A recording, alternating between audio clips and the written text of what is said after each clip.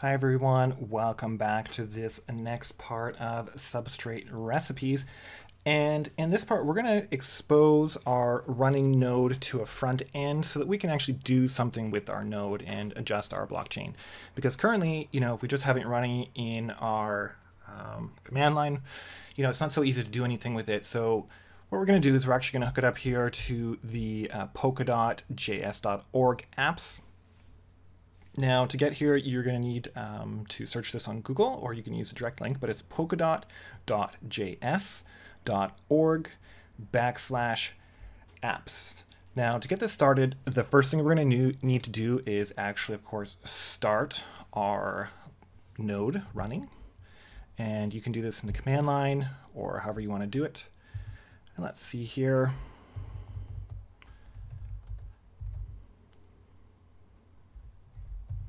So I'm doing this in my command line, which is cargo run dash dash bin space kitchen dash node dash dash. So we're going to pass arguments to the kitchen node itself. So dash dash dev dash dash temp. So watch the video before this if you're not really sure what's going on because I explain it in a lot more detail. So let's hit enter and let this start running. Okay, looks good. So once we've hit the idle phase, we know that it, it, it is running. So what I need to do is go back to my browser. And once we're here in this uh, Polkadot wallet here, we can just click here and it's going to show a dropdown of different um, chains or parachains and test networks and stuff like that that you can connect to and check out. But if we go down to development, we can choose local node, which is our, it should be your uh, IP address here for your home network.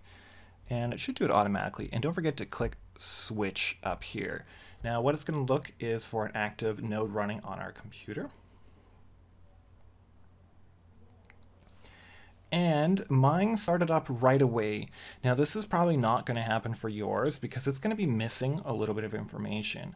So you're going to get an error up here and you're going to see, um, well let's see if we can actually get it doing that. What you want to do is go to settings and we're going to go to developer and you're going to find this right here. And see if we can save it like this.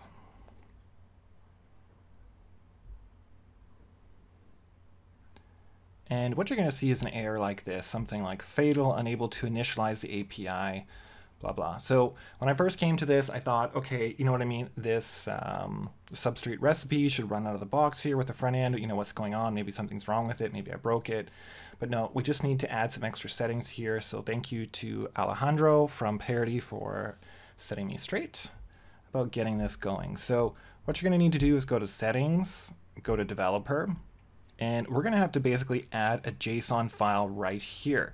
And what this is going to do is expose various types to this front end so we can use the front end to adjust things. And if we don't expose these types here, then the front end doesn't know what to look for. It doesn't know what it should be doing. So it's going to have some problems because every you know, runtime, every um, blockchain or whatever made through Substrate is going to be a little bit different. So we need to add those unique items in. So let me just fight here. Okay, so I've got IntelliJ open. You can have Visual Studio Code open or whatever IDE you are using. And what we want to do is go into the recipes. We're going to go into runtimes, and we've got various runtimes here. Now the kitchen node, if we go to nodes, kitchen node, because we know this is the one we want to work with, let's check out the cargo.toml file, which is sort of the manifest file for you know, this um, node and I believe it should say, I know it should say somewhere, the uh, which runtime it's using, you know, if you didn't know. Okay, so down here it says runtime, package, super runtime, and then it gives you a local path. So we know that's the runtime that's being used. So we can go over to this runtime. We're going to see a types.json file here. And right here we have all of the types that need to be exposed, and it's going to have, um, you know, everything we need. So don't worry about this too much for now, like trying to understand this until you go through more of the recipes and understand what's going on. But the beginning, all you need to know is that you need to copy this and that you need to paste this into right here. And so make sure it's you have the opening and closing, um, what are these, parentheses? curly brackets here and save this. And what this is going to help you do is hopefully, after that's saved, we're going to refresh this. And now it looks all nice and happy. It's not giving us any more errors, so we can check out the accounts. So this is maybe the first time you're using this front end to access your um, blockchain, and that's cool. So, you know, I, I would definitely take some time and like check out all these different things and look at them, although you'll be using them as you go along with the uh, substrate recipes. But here it has a bunch of built-in accounts. We've got Al, you know, Alice and Alice's Stash, Bob, Bob's Stash, Charlie, Dave, and so on and so forth. And you can see their balances here. So some of them have lots of money and some don't.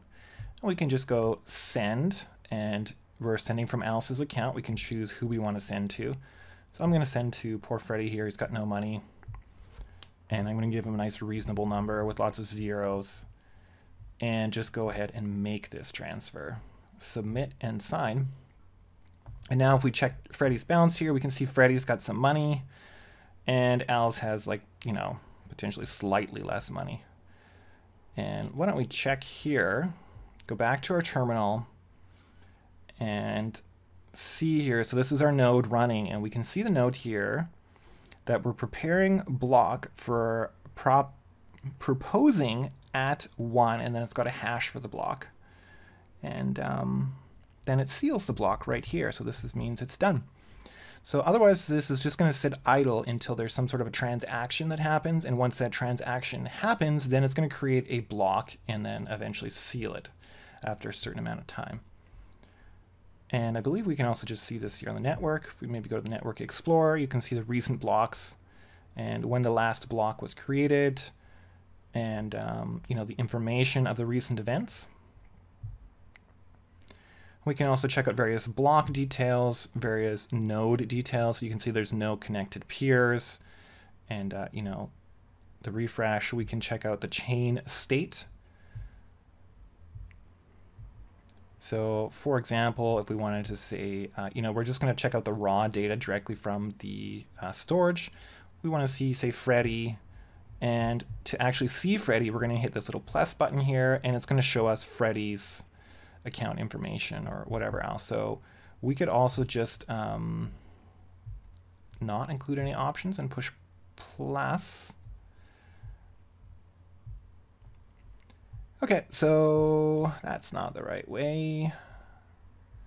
Let's see here. Total insurances balance.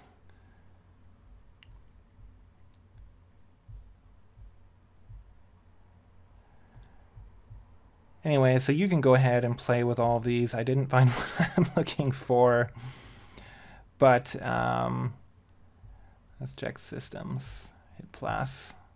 Okay, so here's um, you know Freddy's account in the system. So this is saved on on the block, and uh, you know has his data, how much free money he has here, and so on and so forth. Um, if you disable the options, then it's just going to give you all of them rather than filtered by account ID. So you can see here, here is all of the data. And if you're new to this, you know, uh, probably you are if you're following through these recipes, that's completely fine. You're going to come back to this later and use it more. And at that point, you will you'll come back and you're sort of like relearn this and think, okay, yeah, no, now that's what that does. So you can also see constants of the system. So we can we can close these down. And this means these are things on the blockchain that do not change. These are um, consistent for the chain forever. So we could see the block weights, and it gives us you know various information about block weights, um, or you know block length, or you know all kinds of things. Like we could see the runtime version, and this kind of information. So again, this is this is fixed, and we could access it using the through the raw storage by using some commands. But I wouldn't worry about that for now. So just take some time to browse through the storage and browse through the constants. And we can do other things like um, we can have you know extrinsics. We'll talk about this later, but making calls from outside, sign and verify, sudo. We can inject JavaScript and stuff like that. So again, this is all test data, so don't worry about screwing anything up. Go ahead and play, push buttons, see what happens, and uh, you know break it. It's okay. So that's it for this part. This is how you can get this started just by using the polkadotjs.org backslash apps online to connect to your blockchain. And this will be uh, you know, quite a bit of help as you go through these uh, substrate recipes. Okay, until next time.